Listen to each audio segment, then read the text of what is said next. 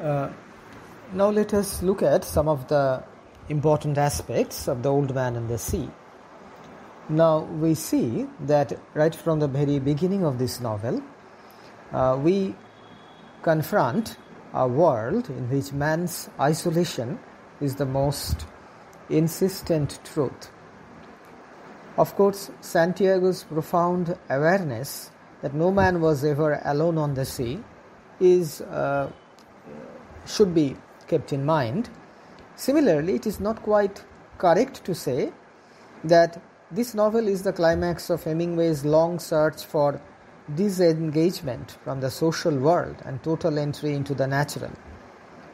Uh, thus, uh, the old man leaves society, of course, but to go out and beyond all people in the world, there is an awareness of society and of his relationship to it. Uh, these are never for long out of his thoughts. And in this end, he returns to his village where he finds it pleasant, quote, to have someone to talk to instead of speaking only to himself and to the sea, unquote.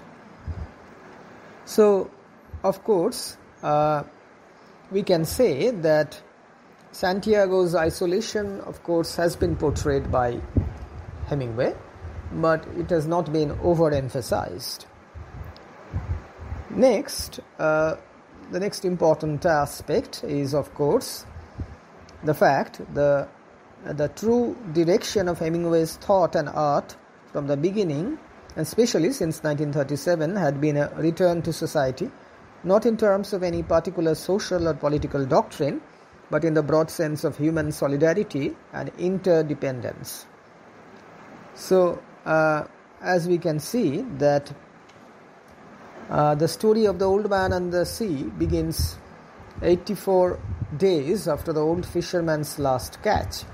The boy, Manolin, the apprentice, whom he has long regarded, quote, with confident, loving eyes, unquote, has been forced by his parents to another boat which caught three good fish in the very first week. And uh, in their mutual reminiscences concerning the past, we discover that Manolin first accompanied Santiago when the former was five years old, that the boy is, quote, already a man, unquote, in his knowledge of the things of the sea and that the pupil remembers everything since he had first started going with Santiago on the latter's fishing trips. During his long ordeal with the marlin, Santiago wishes again and again for the boy's presence, as much for companionship as for assistance.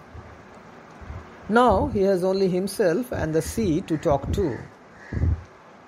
Every new crisis reminds Santiago of Manolin's usefulness and worth. When his hand is cramped by the coil of rope, he wishes the boy, boy was there to rub it or later to wet the coil. As he approaches the seashore with his catch already partially uh, uh, actually consumed by the sharks, the old man meditates upon the boy's feelings during his absence. Quote, there is only the boy to worry, of course, but I am sure he would have confidence. Unquote.